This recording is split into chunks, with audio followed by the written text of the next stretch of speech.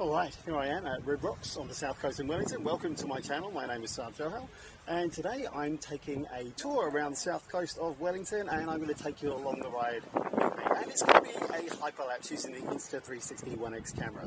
If this is the first time we've met, please consider subscribing so you don't miss any more of my videos. Cool, let's go.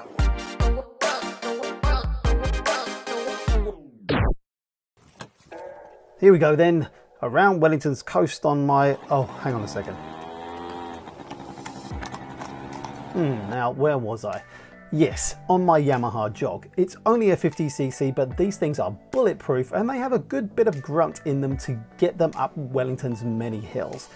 Now we're starting off out by Red Rocks Reserve and then going through Owhiro Bay, Island Bay, Houghton Bay, Lyall Bay, past the airport, Moa Point, Breaker Bay, through Seatoun, around past Karaka Bays and the rest of Maupuia and the Miramar Peninsula before we head across Evans Bay and all along Evans Bay Parade before my battery finally gives up after 47 minutes shooting in Oriental Bay.